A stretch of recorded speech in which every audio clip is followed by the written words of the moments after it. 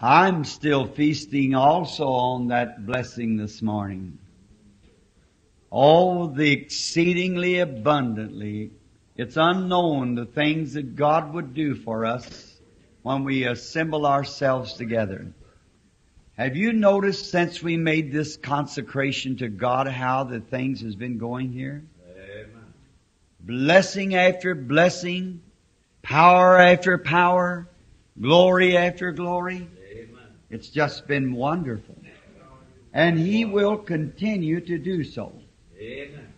Uh, these handkerchiefs, I have prayed over those if, if someone here uh, they belong to. Now,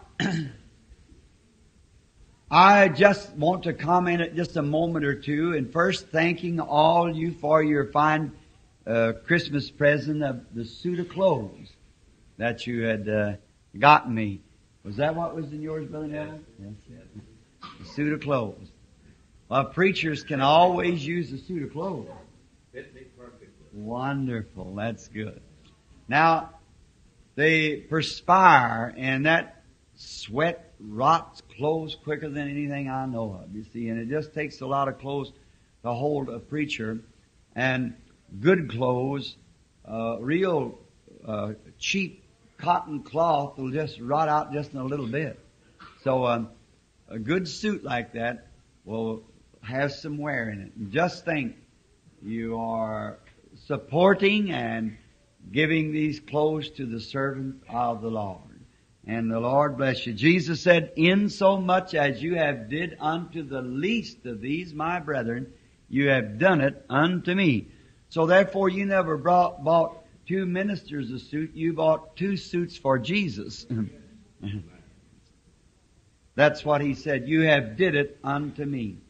But that little heavenly touch this morning, did you notice it? No altar call, no nothing, but just after the message and, and the refreshing of the Holy Spirit bathing upon the people.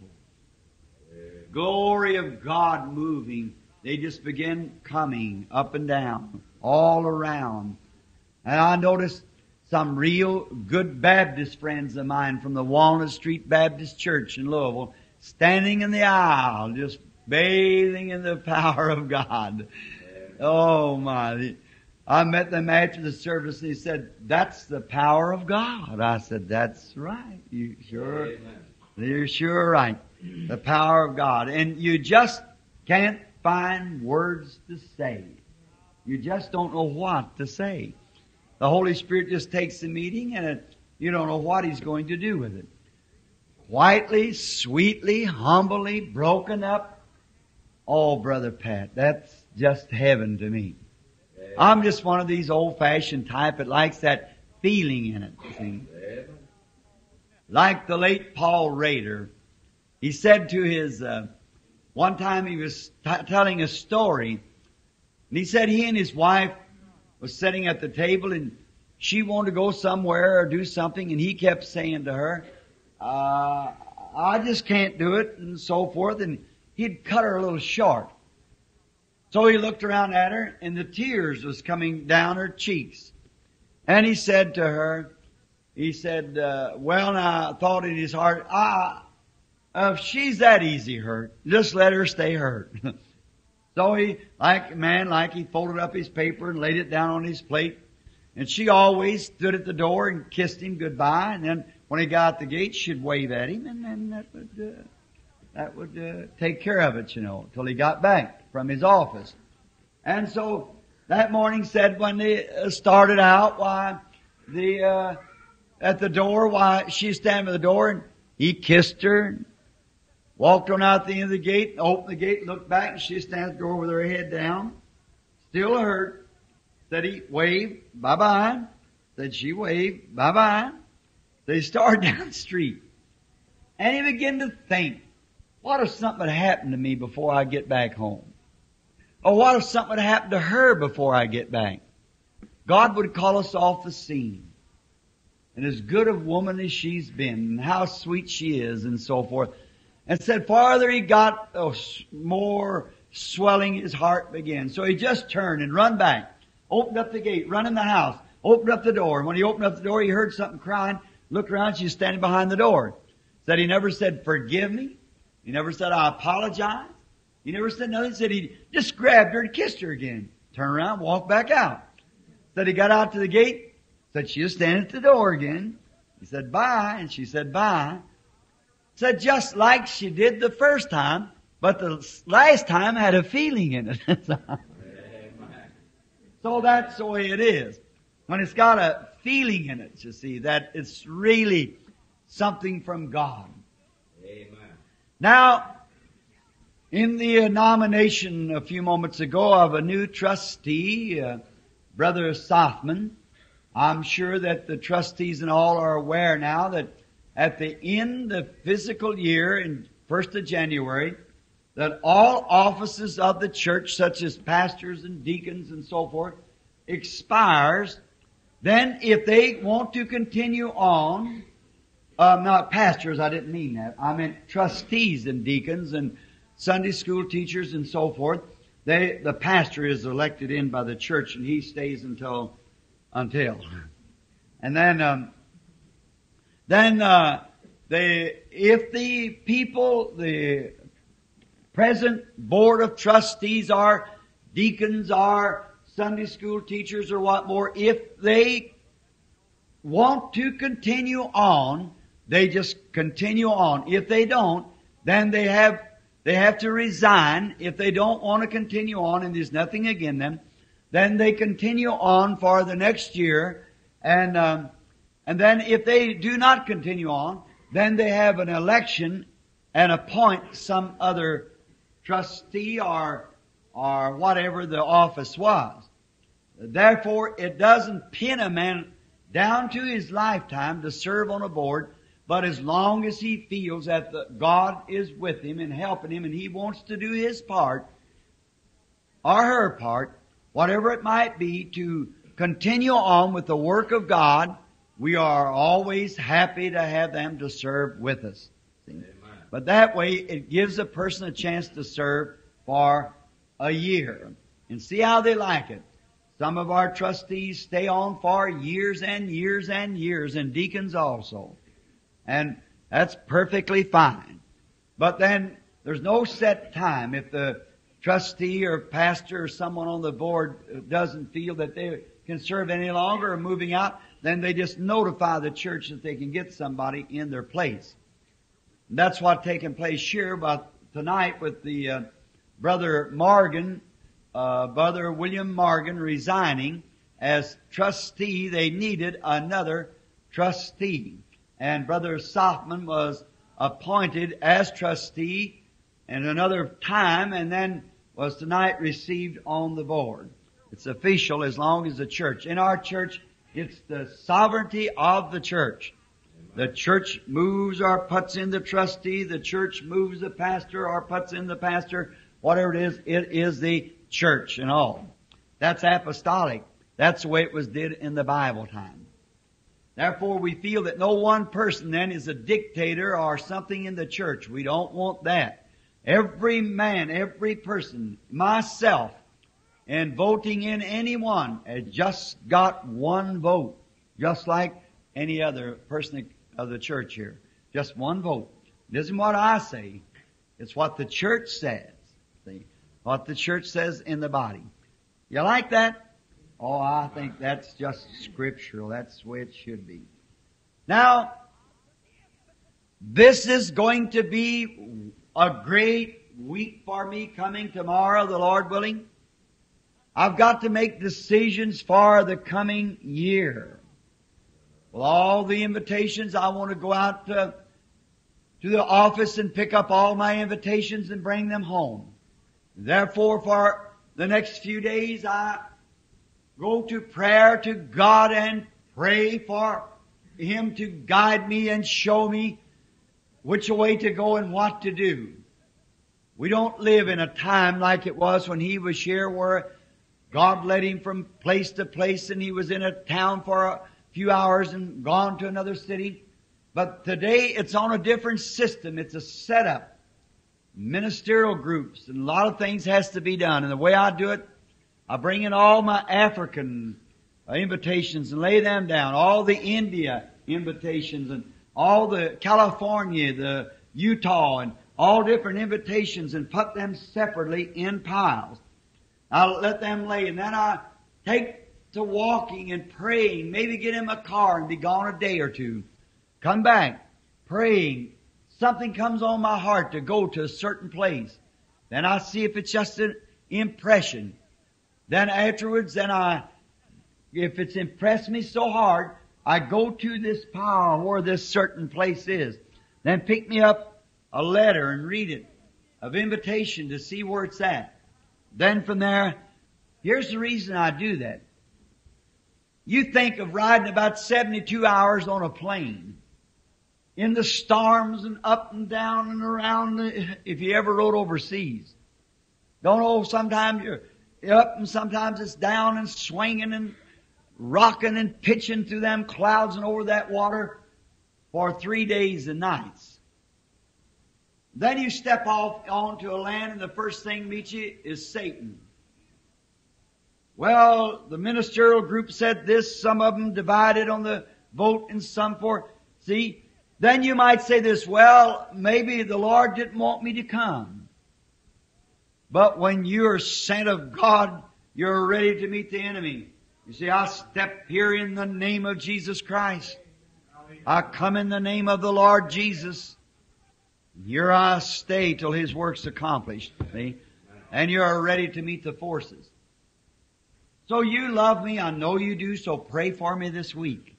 That I'll make the right decisions by the inspiration of God will lead me. Now I'm going to have a few little, what I call little jump meetings. I'm going down into Florida the 8th, 9th, and 10th of this month, or Tifton, Georgia. Tifton, Georgia, the 8th, 9th, and 10th of January, I meant to say instead of this month. And then I've got to go to Glasgow, Kentucky, and perhaps Somerset, Kentucky, and one night, maybe Campbellsville, Kentucky, and and Brother Rogers wanted me to come one night to his place, which we got had to miss him the other time. Now pray for Brother Rogers. We were having fellowship today, and I caught a hold of his hand and found him in a bad shape, physically. So pray for Brother Rogers over here He's tuck a big lot onto his hands there, and it's got him nervous and upset, and he's he's gotten pretty bad health right now, and his wife is very bad. So pray for that little couple, fine children of God. Now I told him that, Lord willing, I'd get him a night, and Brother Ruddell, our little one of our little sister churches up here on 62, little old bashful boy, one long here and couldn't even look up and he would come up to the house and, oh, I guess people thought he was a regular pest, but there was something about the boy that seemed real. I just kept staying with him and staying with him. He said, Brother Ruddell, you can. He said, Brother Branham, I get up before a crowd, my, my heart comes up my throat, and I, I just can't say a word. I said, stand there and swallow it back down and speak in the name of the Lord. See? And now he's got a tabernacle the size of this one up here on the highway just doing something. Stay with it. The boy had a call of God. I know his father, his mother, they're very fine people. And then we ought to have Junie one night down in New Albany and oh you know, just little meetings that I can catch a night here and a night there until if everything plans according to schedule about the 25th of January, I'll be leaving for Miami for the World International Convention of the Full Gospel Christian Businessman, and from there to Kingston, Haiti, down into South America and up through Mexico, and from there into Africa, from Africa up into the Scandinavian and so forth like that. The biggest part of the year, I believe, will be taken up in overseas meetings. So pray for me.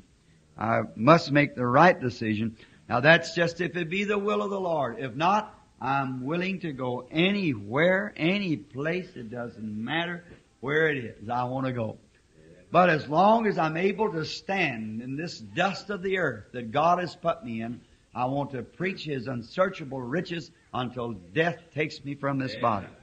That's my determination by the grace of God if He'll only help me. If He takes His hand away from me, the devil will slay me. So you just pray that God will keep His hand of mercy upon me. I'm not asking for His justice. I'm asking for His mercy. See, I, His justice, no, I could not stand that. Just His mercy is what I'm pleading, because I know I'm not worthy. I, no one is. We better not ask His justice. We want His mercy. Now tonight, being a little hoarse, but couldn't turn the opportunity down to speak to this fine group of Christians. Wait, just before I make this announcement, let me say one thing. While you all are in one heart now, and one accord, and everything running sweetly, let me just give a little two minute talk to my church. See? Listen, my darlings in the gospel, my, the stars in my crown, if I shall have one, the purchase of the blood of Jesus. I did this for a purpose, come back like this. We decided that on a hunting trip. Brother Roy Roberson, Brother Banks Woods, and I on a trip. That we could bring, come back. Brother, Brother Roy and all of us was talking about our pastor, Brother Neville, and a man that's before you all time pastoring and everything. You love him, but yet, Brother Neville being the co-pastor, it seemed just a little hard for Brother Neville to have to push out into that. See? So we prayed and it seemed like it was the Lord's will that I do it. Now, I asked the Lord if He'd help me, I'd do my best. And after making my own consecration, and after making, having the church to do so. Now, if God blessed us the way He has in the last few meetings with that little consecration, what will He do if we keep it up? See? Just keep it up. Now listen. You're in love with one another. How I seen you standing in the aisles this morning and this week with your hands to God and, and the lovely Spirit moving around over you. Now don't you listen to one foul thing the devil's got to say. If the devil shows you something or tells you something evil about one of the members of the body of Christ, don't you believe it. For as soon as you believe it, you mar your experience. And if you see one of the members of the body of Christ doing something evil, don't tell nobody else. But go to that member and with love and see if you can't bring them back to Christ again. And if you can't do it, then tell one person and let them go with you. Do it the way the scripture says. See? But don't, if somebody says sister so and so or brother so and so, don't you believe one word of it. You just leave it go. Because remember, it's the devil trying to tear you to pieces. Now just look for him to come in because he'll do it. Now you let the good man of the house, faith, stand right there and don't you receive one thing. These people have been set in heavenly places with you, fellowship together around the blessings of God, taking the communion at the table, and the Holy Spirit has witnessed that they are the children of God. Amen. Oh, let's just be real sweet, kind-hearted, forgiving, loving. And if the other person talks evil against you, you talk sweet against them. Watch how sweeter comes to you then. That's right.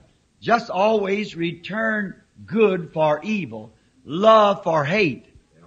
And just, are you feeling better, sweetheart? The little girl in the back? That's good. I'm so thankful. Yeah. Just went back. She was doubled up back there in a knot. And the Lord Jesus has brought her forth now and presented her to the meeting. We're so thankful for that. That's what I left the pulpit for a few moments ago. Said they'd prayed and prayed, couldn't get through to the Lord. Now, be sure to do that. Pledge yourself that to God. God, by your grace, that's what I'll do. No matter when anyone says evil, return good. Don't think evil. If you do think evil and you're just hypocritically saying it, then, then, then you're wrong. You just keep on consecrating yourself to God until you really feel good to that person. That's the way to do it. And the sweetness of God's blessings will just, oh, it'll just cover your soul. That's the way to live victorious. Then nothing can harm you as long as you're in love. Well, you say, see, if you have tongues, they'll cease. And if you have wisdom, it'll vanish. Prophecies, it'll fail. But when you got love, it'll endure forever. And don't love only those who love you, but love those who do not love you. For it's easy for me to love anybody that loves me, but try to love somebody who doesn't love you. That's where you can test whether you're a Christian or not. Somebody don't love you, and yet in your heart you love them. Now, if you don't do that, then just keep holding on to God. It's there, because I know it to be the truth. Amen. I know that it's the truth. Now, we're going to open up the precious word now to the book of Hebrews and the 11th chapter just for a, a short message, being a little hoarse, but I had a wonderful afternoon with brethren and sisters and never got in till almost six o'clock. And I just run into the room and knelt down at the side of the bed at the bedroom and prayed for a few moments. Got up and picked up my Bible and started to read and I seen a magazine laying there and I picked it up and it was wrote in Afrikaans so I couldn't read that and sometimes in reading you'll strike a word and that word becomes alive to you. That's why a minister gets his, his message. Just start reading. Reading the Bible. Something. First thing you know, you strike something. Then something adds to that something. Something adds to that something. Then underline it. And just go to the pulpit and read it. God will do the rest of it. See, He'll take care of the rest. Now, sometimes you get so carried away to you make little thoughts of what, little notes of thoughts that you've thought of. Sometimes in a meeting where you have to come quickly to the platform, that just read over them little thoughts that you had. Maybe the Holy Spirit will quicken them to you again. Done that many's a time. Now, Hebrews 11, let's read the first verse, beginning. And we'll read quite a few verses. Now faith is the substance of things hoped for, the evidence of things not seen. For by it the elders obtained a good report. Through faith we understand that the worlds were framed by the Word of God, so that things which are seen were not made of things which do appear. Isn't that rich? Let me read that third verse again. Listen closely. Through faith we understand that the worlds were framed by the Word of God, so that things which are seen were not made of things which do appear, is the Word of God. By faith Abel offered unto God a more excellent sacrifice than Cain, by which he obtained witness that he was righteous, God testifying of his gifts, and by it being dead yet spake.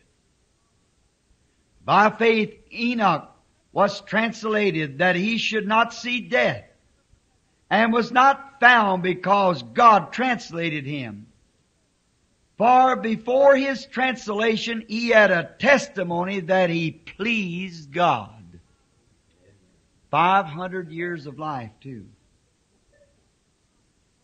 But without faith it is impossible to please Him. For he that cometh to God must believe that He is and that He is a rewarder of those that diligently seek Him.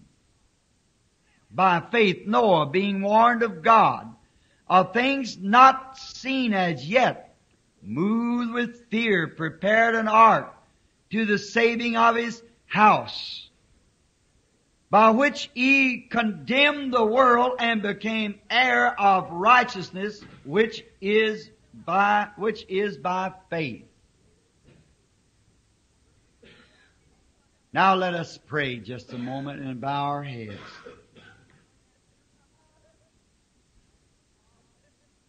Lord, our most gracious God and Father, we come now into thy presence again with thanksgiving. And not only are we now feeling that we are in thy presence because that we have bowed our heads to pray, but we believe that we are constantly in thy presence. Because that the eyes of the Lord run to and fro through the earth. And you know all things. And you know the thoughts of the heart. Therefore, Lord, the reason we bow our heads is to ask this petition. That you would forgive us for all of our trespasses and transgressions against Thee. And that Thy mercy once more would be extended to us insomuch that you'd open our lips to speak and our ears to hear, and that thy word might become real to us tonight. That these few verses that we have chosen to read might become a great help to every member of thy mythical body on the earth, thy spiritual church, the church of the firstborn, that church that's been bought by the blood of Jesus, that's been washed and has been sanctified and will be presented to God that day without a blemish or a wrinkle. How we thank Thee to have faith to believe that we are partakers of this goodness of God through the righteousness and mercy of our Lord Jesus. Praying now that you'll heal all the sickness. Thanking you for touching that little girl just a few moments ago laying doubled in the room in there from pain. See her walk out that little childlike faith and accepting you and your mercy. And we thank thee for this and pray that you'll remember uh, Sister Baker's little loved one over in Kentucky and the ones that Brother Neville spoke of, and oh God, the innumerable camp of the sick everywhere. And especially, Lord, those that are unsaved and know Thee not, if they should die in their sins, they cannot come where You are. We pray that You'll give us witness and power, boldness to speak the Word, and wisdom to know when to speak it, and then speak to us when we have said enough that we might walk away and leave the people in the amazement wondering of the great Holy Spirit and His work. Grant it, Lord. Hear us now, we pray. In Jesus' name we ask it. Amen. I would like to speak just for a short time upon the subject of senses. We are taught that the natural man has five senses, and those five senses control his, his, or give, God gave him these five senses to contact his earthly home. And those senses are known as see, taste, feel, smell, hear. Those five senses which are known to the natural man. And they are good. And we cannot operate or live a normal life when one of these senses fail to act. Your sight, hearing, feeling, smelling, or tasting. We cannot be normal without them. There's something missing. Some portion of life that we cannot contact without that sense acting. And they're good and they're useful. And they were given to us by God. God gave those senses. But they're given to you as a gift. And it depends on how you what you yield these senses to will be the way that your life is controlled. The way you yield those five senses, your, what you see, what you hear, what you taste, smell, or feel. Whatever those senses are yielded to, they will dominate you. And we are grateful to God that we have the five senses. But by no means was these five senses given to you to guide you. They were given to you for earthly contact. But there was given you the sixth sense. And that sixth sense is belongs only to the Christian. And you cannot have this sixth sense until you become a Christian. Is the only way that you can ever have any more than the five natural senses for the natural person. But sixth sense is better known to the Christian as faith. It's the one that governs and guides you and it is superior to all the other senses. It's a superior to all of the senses, the other five senses. Now, I would not say that because that we receive the sixth sense, that the five senses are no good no more. Yes, they are. Those five senses were given to you by God, and they are to be used. But when the five senses act contrary to the Word of God, then they are lying. Now, the sixth sense cannot lie. It's a super sense. And that's what I want to speak about. This morning I spoke on a super sign, and tonight on a super sense. And the super sense is the Holy Spirit, the faith of God that dwells in you. And if you let the five senses be yielded to the sixth sense, it'll guide you and bring all the other five senses under control of that super sense. For it's so far above the natural sense as the spiritual man is above the natural. It's as far and as high as the heavens is above the natural man and his five senses. It makes you believe things that you cannot see. It makes you act where you do not think the five senses would ever think about it. The devil can get into these five senses and lie to you. But he cannot touch that super sense. That's far beyond his reach. That come from God. It's called faith. Faith is that great thing. And the five senses does not control the sixth sense, but the sixth sense controls the five senses. The super sense controls the natural senses. And the, the five senses is see, taste, feel, smell, hear.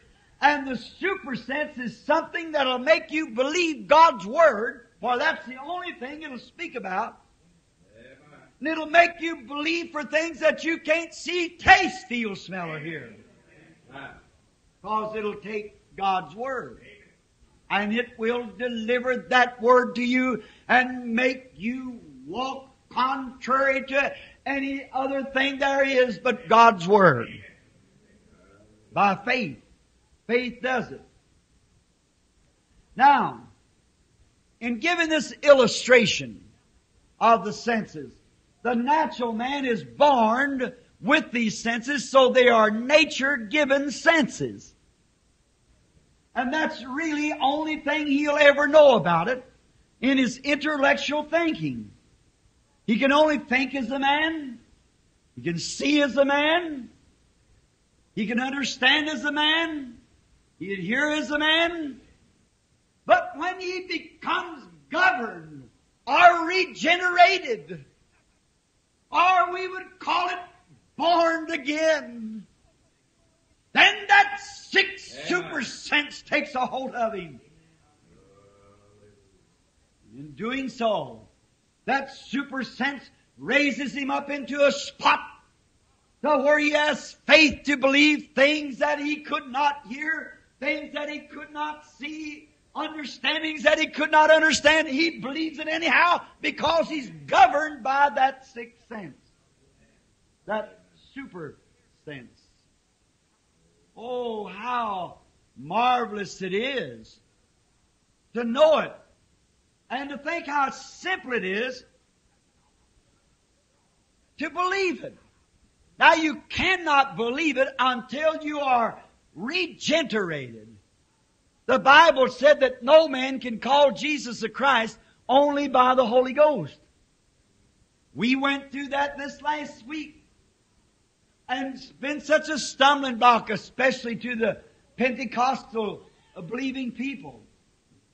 When they hear me say that Jesus said in St. John 5 24, He that heareth my word and believeth on him that sent me has eternal life. Eternal life comes from God alone. And no man can say Jesus is the Christ only by the Holy Ghost. You're only taking what somebody else said, what you learned by intellectual, what you learned by the natural five senses. But when the sixth sense comes in, the Holy Spirit, it takes away all the reasonings of these six senses and five senses and lifts you up into that sixth sense to make you believe things that you can't see, taste, feel, smell. Does something to you. Then you can say Jesus is the Christ because you have witnessed it. Not what intellectual teaching has taught you, but what you've experienced. What is the sixth sense to do then, Brother Branham? Why did the sixth sense come? The sixth sense come for this reason. Now, sixth sense is the faith, the super sense. Now, if the sixth sense come for this reason only, that was to make the five senses in you deny anything that's contrary to God's Word. Amen. That's what the sixth sense is for. The Scripture speaks of casting down reasonings. Amen. The the s- fi- five senses will you can reason. Well, now why should this man? Why should? But the sixth sense doesn't see that at all. It's so far beyond it. It's so much higher than it is. Until it don't even have any reasonings at all with it. We believe it. It's far beyond anything that the five senses would have to say about it. Now, get ready for a healing service. See, we believe it. You walk by that sixth sense. You talk by that sixth sense. You live by that sixth sense. You die by that sixth sense and rise by that sixth sense. That super sense. Something that's in you that's different from what the natural man is. The natural man only has these. And they're all right. If they can be brought in submission to the sixth sense. If the natural mind says, reads the Word of God and says, that is the Word of God, it's speaking the truth. But if it reads and says it's not all the Word of God, or, or it uh, was something, it was one time, but it isn't now, then that sixth sense comes in and says He's the same yesterday, today, and forever. Amen. See? That's the difference. That's why that so many people fail to be healed. They're trying to come with an intellectual conception. They say, "Oh, I uh, I do this or I believe this and so forth."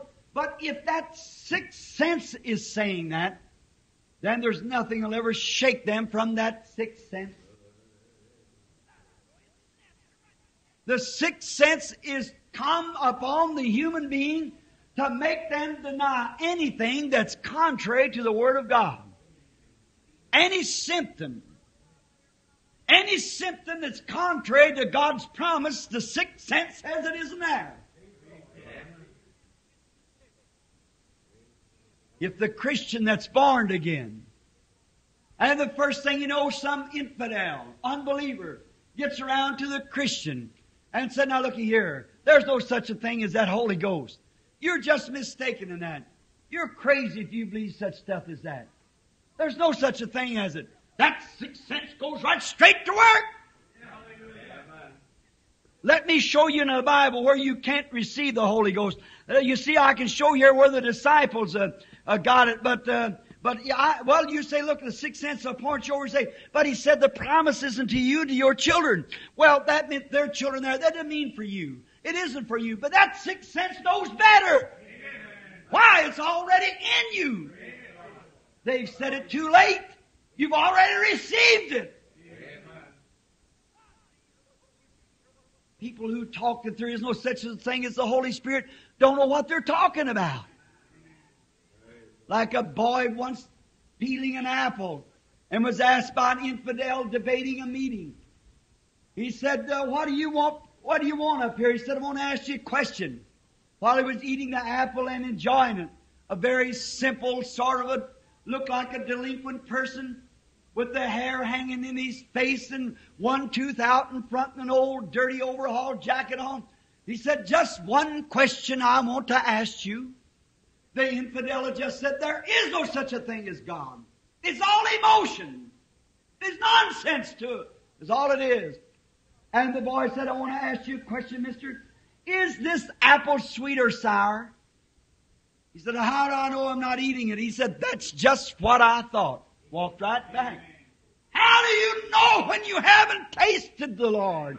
How do you know when you've never received the Holy Ghost whether He's real or whether He is not? How do you know where there's faith and power? How do you know there's not joy unspeakable and full of glory when you've never tasted to see it? The sixth sense leads you to that. The sixth sense declares that to you. There's no intellectual powers at all will ever bring that to you. The intellectual powers will reason and say, well, it's psychology. It's something this way. It's emotion with the people. But when the sixth sense comes in, it denies all of those things and moves the person straight into the bosoms of God. He that cometh to God must believe that He is, and a rewarder of those that diligently seek Him. By faith, by faith. Abraham, by faith. Isaac, by faith. Jacob. All by faith. It's the sixth sense that does it. Sixth sense denies all symptoms, all symptoms. Anything contrary to God's Word. Any feeling, emotion. Somebody say, oh, well, I was prayed for, but I just don't feel any better. Sixth sense would never stand still for that. Sixth sense and say it's a lie. I feel better. I'm getting well. God said so. That settles it. Yes. Amen. Amen. God said so. Sixth sense only feeds on the Word of God. That's super sense. It's super above the senses. It's a greater sense. It's a faith. It's a power that stirs and drives. Amen. Oh, It's something that makes you do things that you never thought you would do. It's the sixth sense, the super sense. You get prayed for. Say you got, got a crippled hand, you get prayed for your hand. You come up there and you believe that God's going to heal you. The pastor prays for you. You go back. The old natural man will say this. You don't feel any different in that hand. You're no better than what you ever was. But the sixth sense comes along and said, that's a lie. You've been prayed for. That settles it. Amen. Like a woman had come to her meeting one time, and she come to her meeting, two of them. They crossed the platform. They'd seen the discernments. Them women were just, just swallowed up. They were both real Christians. One come up in the Spirit came and said, You are suffering with a stomach trouble. And her face lit up. She said, That's true. Uh, and the Holy Spirit said through me, said, and it's an ulcer. It's caused from a nervous condition. You've been examined by a certain doctor, and he said that you could not uh, have that, uh, had to have an operation have it cut out. She said every word of that is a truth. And then seeing she's such a great believer, then it said your name is Miss So and So, you come from so and so and such and such a place. She said that is the truth. What was it? The sixth sense catching it. Amen. The sixth sense and the Holy Spirit was standing side by side. The Holy Spirit was speaking. The sixth sense was saying, Amen. There it is. Something has to happen. When Martha run out to find Jesus, and when she said, Lord, what's the sixth sense? If thou would have been here, my brother would not have died. But even now, whatever you ask God, God will give it to you. There's the sixth sense. Jesus pulled himself together and said, I am the resurrection and life. He that believeth in me, though he were dead, yet shall he live. Amen. Whosoever liveth and believeth in me shall never die. Believest thou this?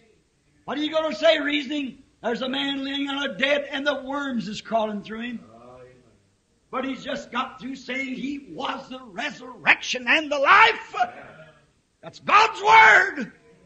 That's sixth sense beyond the doctor's care, beyond the thoughts of scientific research. Hallelujah. Defy all, defy all reasonings and cast them down. Why? It's witnessing to God's Word. I am, I not I will be, I was, I am now. I'm the resurrection and life. Man, he that believeth in me, though he were dead, yet he shall live, and whosoever liveth and believeth in me shall never die. Believest thou this? He said, Yea, Lord. Six Sixth sense. I believe that you are the Son of God that should come into the world. Hallelujah. Thy brother shall rise again. Oh, amen. Oh my. To the grave they went. Them two together, something had to happen. That was a super sense with God standing present. Something had to take place. The sense was, super sense was God. There was something telling Martha that. She'd seen him, she knowed him. She recognized him to be the very Messiah. And she knowed if she could only get to him, if she could only get close to him and present the case.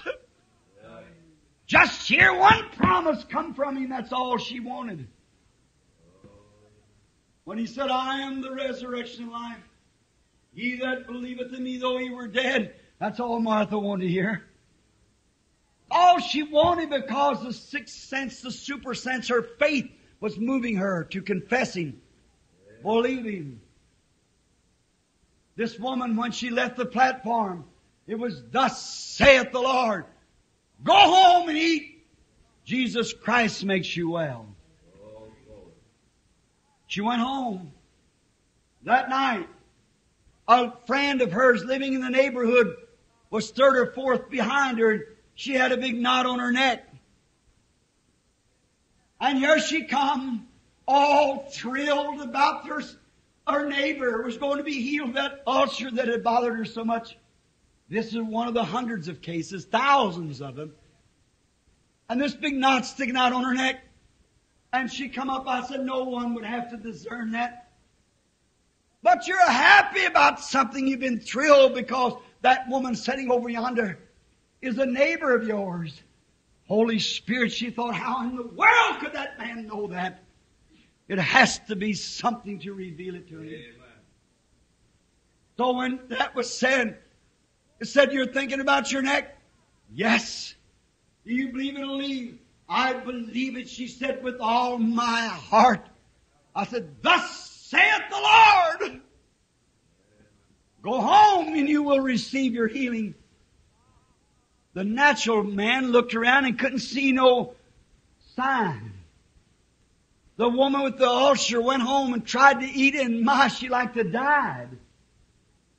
Oh, the natural man, the natural sense of feeling still declared the ulcer there. So, after about a week or two had passed, she went through the neighborhood to all of her people in the church testifying the Lord has healed me. And they said, are you eating now? No, not exactly everything I want, but she said, I'm already healed. For by his stripes I am healed. No matter what it was, she's healed anyhow. One morning, the children had gone to school. And she got real hungry. She was standing washing the dishes by the window. She came to the meeting, another meeting about a year later. And she was washing the dishes. And when she, uh, first thing she felt a real funny feeling go over. And she thought, what was that? Felt like I wanted to scream. And her husband had told her, said, honey, you quit talking about that healing. Said, because although he was a Christian, said, you're bringing a reproach upon the cause. How can you bring a reproach when you're testifying to His Word? You'll bring a reproach if you don't testify to it. Amen. Said if you were healed, you were healed. She said, that man stood and looked me in the eye and told me my conditions and the things that I had done and who I was and where I had come from. She said I hadn't been in the building 15 minutes when he come to the platform. How in the world could this man know that? I never saw him in my life. And he told me, thus saith the Lord, Amen. you're healed. And she said, I'll believe it until I'm dead. She said, I'll believe it anyhow. So her and her sister uh, below her, a friend, had covenant to God that they'd hold that faith. That morning she felt real funny. And in a few minutes she got hungry. So the children had left some oats in a plate, a little dish, and said oats always just burn her up. If anybody ever had an ulcer, you know what it is. So she reached down and took a couple bites of those oats. Oh my, she said, I, I have to pay for it, I suppose, but one of these days I'll be all right. But she noticed she was still hungry. So she just finished up the dish. She waited a few minutes. See what happened. Nothing happened. Felt good, still hungry. She fried her a couple eggs and poured her a cup of coffee and got some toast and had her real jubilee. She just eat all she could eat. She went ahead washing the dishes. And about a half hour later, she was hungry again. No ill effects. She put on her little bonnet and down the street she went into this neighbor's house. And when she got there, she heard, she thought there'd been a death baby in the family. They were screaming and shouting and walking around. The woman had slept late that morning and got up looking for the growth that was on her neck and it had disappeared during the night. Hallelujah. What God. was it? God at work. Up here at Cadle Tabernacle when we had that meeting, that crippled boy that come in there and was prayed for. Many of us there to see him. They brought him back in that emergency room. Billy led me to him. They had him on a platform for three or four nights or on the, in the building. He didn't get a prayer card, so they put him in the emergency room. I went in and prayed for him. Looked at him, he said, Mr. Branham, can you tell me some consolation? I said, yes, sir, son. Polio got you this way. He said, that's right. I said, your name is such and such and come from a certain place. That's right, he said. He said, what about my healing? I said, by his stripes you were healed. He went home testifying, giving God praise. And he brought such a reproach they claimed in the neighborhood until one Sunday a group of ministers come in and sat down by him and said, You must stop doing that. You're bringing reproach upon the cause. And the young man sitting there said, Mister, if you were sitting where I am, if you were in the chair that I'm sitting in, you wouldn't try to rob me of the last hope I got in Christ. That by His stripes I am healed. And he no more said that sitting there paralyzed, feet, hands, body, back. And no more than he sat that and out of the chair he went, glorifying God. What? His natural senses said he'll sit there. The doctor said he'll be there forever, or as long as he lives. But the sixth sense says, by his stripes, I am healed. And he wouldn't have nothing to do. It's casting away everything contrary to what God said. That's what the sixth sense is for. Old John Ryan, not the R-Y-A-N or R-H-Y-N. That was the blind beggar at Fort Wayne. There where we went that day and he was prayed for in the meeting. That was the night before the piano played the great Physician. now he's near without anybody by it. And when he was blind, he's Catholic by faith and he, he stopped in the line and I looked at him and I said, Your name is so and so, John Ryan? Yes. You're a beggar on the corner. You've been blind for years? Yes. That's right. You're Catholic by faith? That's right. I said, Thus saith the Lord, you receive your healing. I said, Thank you, sir. I said, Thank the Lord. He said, But I can't see. I said, That has nothing to do with it. You are healed. And he said, uh, He went down along to help him off the platform. The natural man couldn't see nothing. They couldn't see no results from that at all. Why, I said he's just as blind as he ever was. So two of his friends brought him back and put him in the prayer line again and run him through again. Howard let him pass through. When he come back again, he said, Mister, you told me I was healed. I said, you told me you believe me. He said, I do believe you. I have no reasons not to believe you. Said, you've told me all things in my life. And he said, I don't know what to do. Said, there was a woman back there testifying and she had a goiter a few minutes ago and it's gone away. I said, then if you believe me, why are you questioning me? I'm telling you the Word of God. He said, what must I do, sir? Knowing he was a Catholic and had to have something physical that he could hold to. I said, just keep testifying, by stripes I am healed, and giving praise. The old man for the next two weeks or three, he stood on the corner and he sold papers. He would holler, extra, extra, praise the Lord, I'm healed.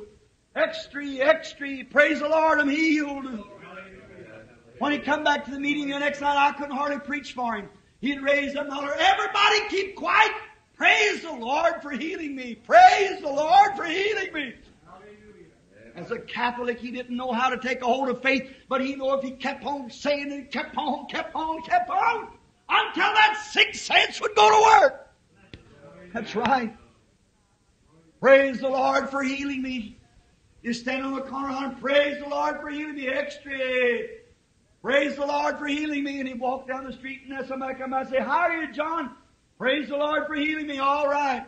And they laughed at him and made fun of him.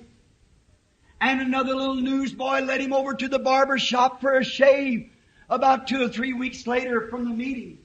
And the barber put him up in the chair and lathered his face and he said, John, he said, I understand some little smart aleck. And he said, I understand that you was down to see the divine healer when here. He said, Yes, I went down. He said, I understand that you got healed just to make fun of him. And the old man said, Yes, praise the Lord, he healed me. And his eyes come open. Out of that barber chair, he went with a towel around his neck. The barber trying to catch him with a razor in his hand. And down the street they went. Why? God's Word had went to work. Little Georgie Carter laying down there, which you all know. Some people here close. Laid there for nine years and eight months, couldn't even, nothing but pull a draw sheet from under. From the kidneys and bowels. She weighed some 35 pounds. Laying down at Milltown, Indiana. And her people belonged to a church that, when I went to hold a meeting there at the Milltown Baptist Church and praying for the sick, that church said if any member of this congregation attends that fanatic, we'll excommunicate him. And her father was a deacon. But she'd got my little book called Jesus the Same Yesterday, and Forever. Brother Hall take me to her one afternoon. Her mother run out of the house, wouldn't have nothing to do with it. I went in and prayed for her, said, well, how about that nail girl? She'd know about the vision. I said, that was a vision, sister. I can only pray. You have faith. The poor little thing had been taught against it. Few days from then, I was standing up there baptizing. She was down there crying, which had promised that she'd come and be rebaptized again in the name of Jesus Christ if God would only heal her. There she, her little old legs just about the size of a broomstick. They couldn't even put her on a bedpan. Her mother, yet a young woman, sat there broke with palsy, gray-headed from watching her daughter laying there, dying by inches. Tubercular, the female glands, and went all the way through her. She weighed some 37 pounds, I think it was. They judged her. Couldn't raise her up high to put the bedpan on her. Had to pull a draw sheet from under a rubber one. Nine years and eight months she'd lay there, not even able to raise her head to see a tree that was by the window. One day, standing back up on top of the hillside at George Wright's, the Holy Spirit said to me, Rise to your feet! And I looked and there's a light shining down through a dogwood tree. Said, Go by the way of Wright's. Or go by the way of Carter's. When I got there, the Lord Jesus had showed her mother a sign that I was coming. Walked into that girl laying there on that bed. So weak that she couldn't even raise the sputum and cup. Her mother would hold it oh, trying to spit in the sputum and cup with the TB. I said, Sister Georgie, Jesus Christ, the Son of God, met me yonder in the wilderness about a half hour ago and told me to come lay hands on you. Amen. Thus saith the Lord, stand on your feet. The sixth sense went to work. A power struck that girl for the first time in three years or nine years and in eight months she'd ever been on her feet, jumped to her feet, run into the yards and blessing the trees and the grass and everything and went in and sat down at the piano began to play. There is a fountain filled with blood drawn from Emmanuel's veins. Why? Reasons would have cast down, she couldn't do it. I don't know now. I'll never know. Only the power of God that held her up, her legs wasn't that big around up here at the joints. Nothing like just like broomsticks. That's been some 12 years ago or 14. And today she's strong and healthy, going for the Lord Jesus. What was it? The first time there wasn't nothing seemed to happen, but reasoning would have said it couldn't happen. But brother, she held on to that word. If God could take that crippled girl up there at Salem, that nail girl had been crippled and paralyzed, her arms hung down like that, could heal her, she could heal her too. She believed it. Brother Hall laying down there, dying with a cancer. The same man took me over there. His doctor in Milltown sent him up to this doctor that in New Albany down here. That's uh, there at the St. Edward's Hospital. I forget he brought my children. Fine man, good doctor. He examined and said, cancer. Said to Dr. Brown down in Milltown, said, he's dying. Dr. Brown said, I thought so. Took him up to his sisters down here, which is a, a relative of Mr. Kopp, used to be the judge in the city. And when he got down there, said, just keep him here till he dies. And they sent for me to come down. I went day after day with my wife back there. We prayed for Brother Hall. I loved him. He'd been one of my converts to Christ. And he got lower and lower and he couldn't move his hands. Miss Hall said, Billy, is there something you can do? I said, there's nothing I know, Sister Hall. I can't hear a word from the Lord. We, I said, I'd like for my doctor to look at him. He said, who is your doctor? I said, Dr. Sam Adair. And I called Sam. Sam said, the only thing I can send him to Louisville, Billy, for x-rays and things. Said, I'll give you the report. They sent an ambulance down, picked him up, took him, come back. Sam called me up and said, Billy, he's got cancer of the liver. We can't cut his liver out and him live. Said he's a preacher. He ought to be all right now. You might as well tell him he's going. I said, he's ready to go, Sam. But the thing of it is, I just hate to see him go. He's my brother and I love him. And I thought, oh God, do something for me. I started to go squirrel hunting that morning. I looked out before day, nobody was out in the yard, picked up a rifle and started through the house. There was an old rugged looking apple hanging on the wall. I thought, what a meaty put that on the wall. I looked and another and another and another till six of them hung there. I jerked off my hat and fell on my knees on the floor. Looked up there and then a great big beautiful apple come down and eat all those apples up. I looked standing above there and there's that same light hanging on that picture yonder. Standing there and milling around said, stand on your feet. Go tell Mr. Hall, thus saith the Lord. He'll not die but live. Amen. I went down and told him he wasn't any different. But he believed it. He held on to it. There was no difference. It Seemed like a day passed. No difference. The second day, no difference. About the third day, it started, and here he is, a living today after years and years. Amen. Notice sitting right here, Miss Weaver, if I'm not mistaken. When her daughter came after healing of Margie Morgan, I went down there and there wasn't nothing that woman could do. She'd be dead within the next few hours. They had a shot or two they could give her and that was all. It had a female operation, cancer run up through her spine. They scattered it when they operated it. There was nothing to do for the woman. I wanted to talk to her about healing, but she said, Sir, you are a minister of the Lord God, and I'm not worthy that you would come into my house. Counting herself unworthy for a minister come, she said, I've lived a life, I've danced and I've Uh, done things that I should not have done. I've used bad language or whatever more. She told me her sins and she said, I'm not worthy of it. I seen she was hitting the right line. She'd have to get Christ in here before that sick super sense would ever go to work. We knelt down. I talked to her about though your sins be as scarlet. She gave her life to the Lord Jesus Christ. And when she did, she said, Oh, oh, I feel so different. Something's happened to me. Something's happened to me. I want to shake hands with all of you. Just then I looked out and I seen her in a vision going back behind the house to a chicken coop. I said, Mrs. Weaver, thus saith the Lord God, you'll make a trip to that chicken coop and you'll live. She couldn't go by the way she felt. Cancer eat her up. She couldn't go by what the doctor said. She was dying. And that's been, I guess, 14, 15 years ago, Miss Weaver. 14 years ago, she staggered up to this tabernacle when she simply didn't look like she was able to get out of the bed. Little old bony arms because she promised God she'd come and be baptized in the name of Jesus. We picked her up out of a wheelchair, almost there, a chair, took her down in the pool and baptized her in the name of Jesus, and there she sits tonight. Look at her if you want to see a species of hell. Why? Hallelujah. Casting down reasonings and scientific researches and everything else Amen. because the sixth sense went to work. That's it. Look, let me just say this uh, again just for a minute. Jesus passed by a tree one time. And it was a fig tree. And he looked at the fig tree. Now please don't miss this. He looked at the fig tree. And there was no figs on it. And he said, he cursed the tree and said, no man eat from thee. The disciples looked around. Tree looked like it always did. An hour from that, it still looked the same. God never opened up the earth and swallowed it up.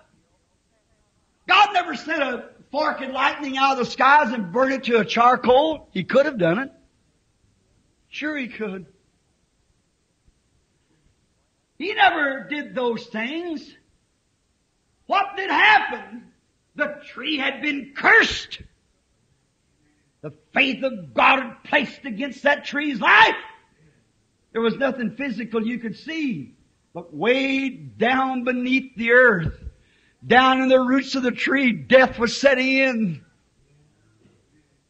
It had been cursed. The sixth sense had come against it.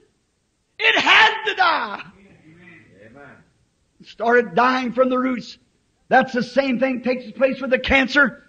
That's the same thing takes place with the tumor. That's the same thing takes place with any disease.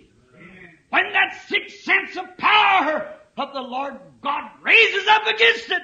Amen. Said, Satan, come out of there. You might not see no physical condition happen right away, but that faith holds there just the same. It's been cursed. That sixth sense won't, that super sense won't let it go. It won't pay attention to how you feel, how you look, how you act. It won't have one thing to do with it. God's word's been applied. The sixth sense takes a hold of it. That's all. She goes to work. The cancer begins to dwindle away. It dies from the roots and it's gone. Certainly, by this same forceful sixth sense, kingdoms has crumbled. Lap one wall against another. By this sixth sense, the Red Sea pushed back Amen. and a dry ground made a way for our children of God to escape on. By this same sixth sense, Samson defied a thousand Philistines armed with armors and spears. Amen. He had no way to defend himself but the jawbone of a wild mule. That sixth sense went to work and he beat down a thousand Philistines. Hallelujah. By this sixth sense, the dead's been raised. By this sixth sense, mighty miracles has been performed. It's the most powerful force that ever hit the earth Amen. is that super sense called the sixth sense has nothing to do with this down here. If this down here declares it and says amen to it, all right, you're moving on. But regardless of what this does, believe that. There's where the power. If you believe in your heart, your fifth sense of thinking lays within your brain. But your sixth sense lays in your heart. You believe with your heart.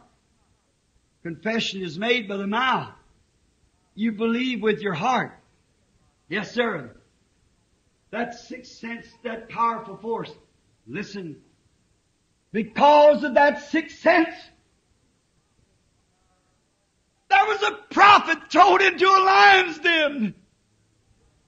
And because of that sixth sense, the lions couldn't eat Daniel. Amen. They couldn't, they couldn't get near him because of that sixth sense. That super sense.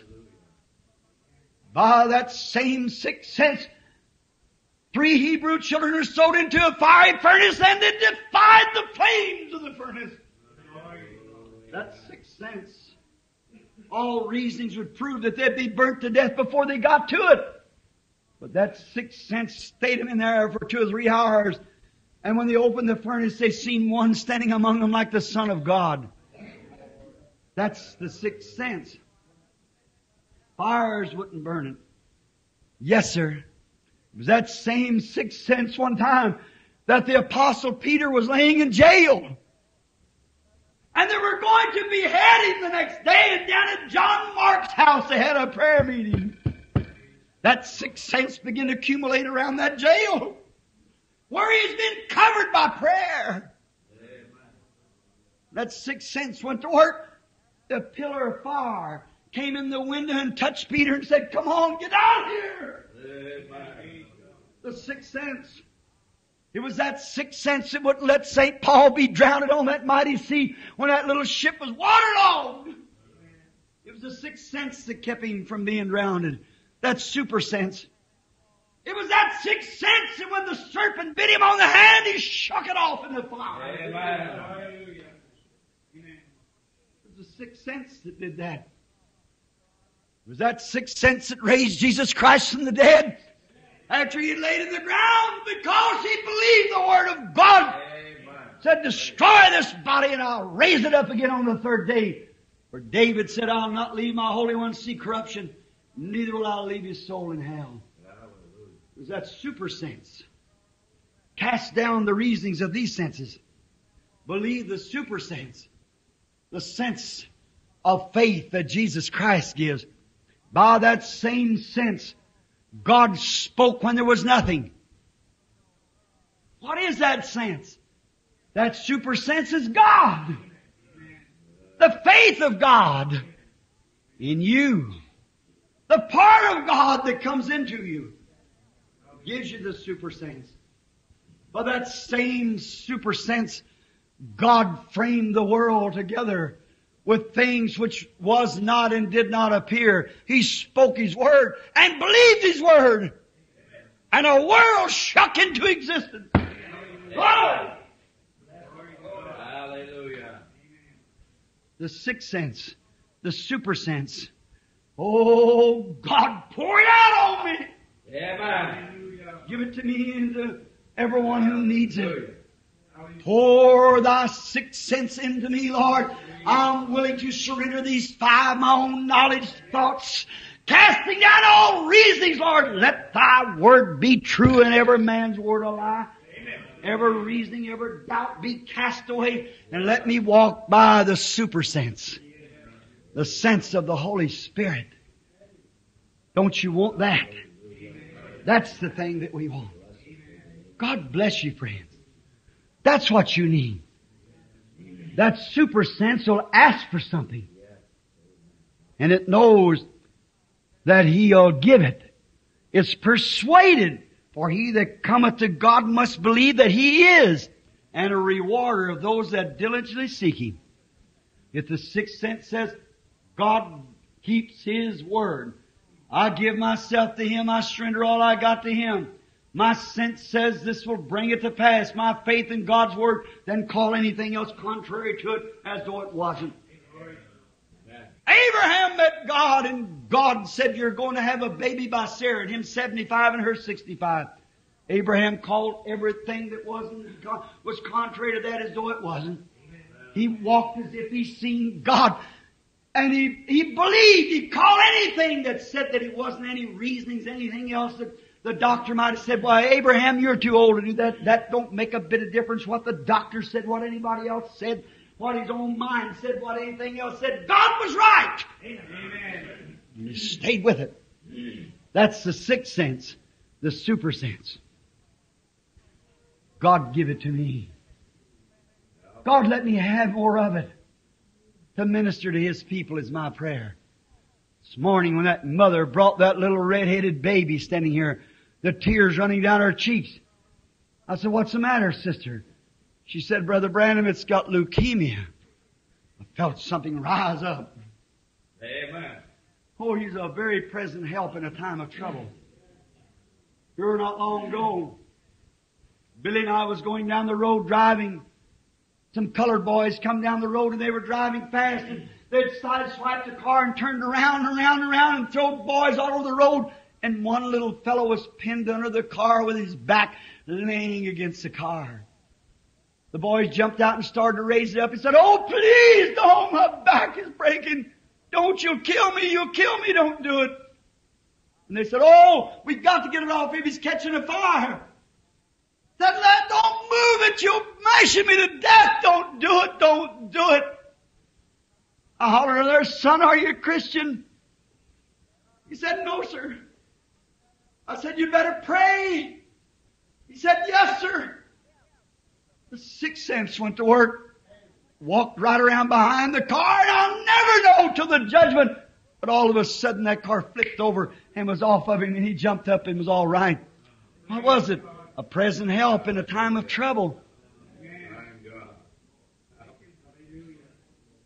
We were coming down from a, a young colored lady was driving a car in the road, New Plymouth, about 400 miles on it.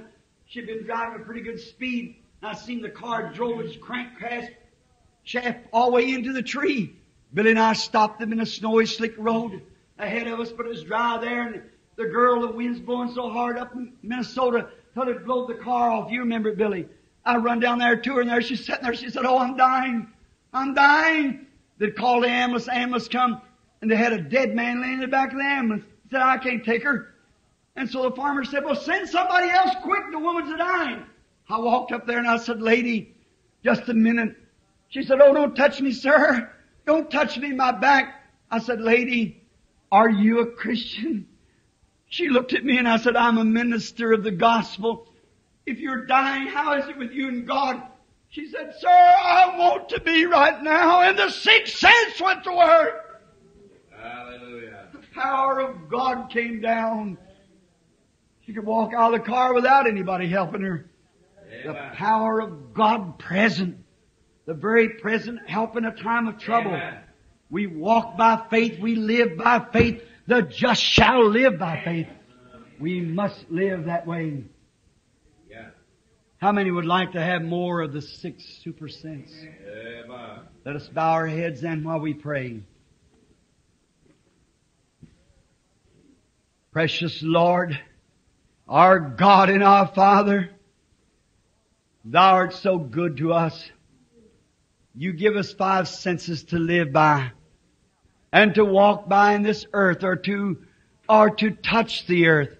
We can feel things that's, that's to be felt with our hands, tangible things.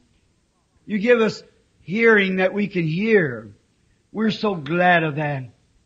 That we can hear the Word of God and by that faith cometh by hearing. Hearing the Word of God. We're thankful for these six senses, Lord. May we maintain them all the days of our life. But may this super sense, may the sense of faith that belongs to the believer, because he has to have it in order to believe. Lord, give us more of it. Oh, purge it, Lord, and try us and fill us with thy goodness and thy power. Let us walk all the days of our life by the sixth sense, by the sense of faith that's only given by Jesus Christ. That what we pray for, may we believe that we receive it. Have no doubt in our heart. And you promised that it would come to pass. These who had their hands up, Lord, I'm praying for them. They had needs. You know what they were. I pray that you'll bring them to pass. Every one of them, may it be fulfilled, their desire. I asked it in Jesus' name. Amen.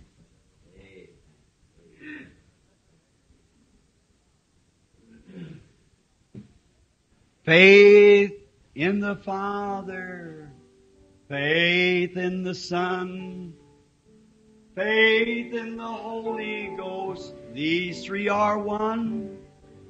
Demons will tremble and sinners awake. Faith in Jehovah will anything shake. Did you ever hear it before? Now without the music, just me faith. Faith in the Father, faith in the Son, faith in the Holy Ghost. These three are one. Demons will tremble and sinners awake. Faith in Jehovah makes anything shake. Amen. That's right. Oh, my precious faith. Precious, glorious faith. God, give me faith. By faith, Abraham. By faith, Isaac. By faith, Abel offered unto God a more excellent sacrifice than Cain. Him being yet dead, yet testified. Oh, how we need faith. I love Him. I want more faith. My desire in this life and for this new year coming is more faith in God. God, take away any doubt that's in my mind, if there should ever arise one. Satan fights at me, he fights at you, he tries to shoot his arrows. But may I have that shield of faith always before me to withstand the wiles of the devil, to, but to knock off his fiery darts is my sincere prayer. God bless you. Think you say, Brother? Only to announce Come on. again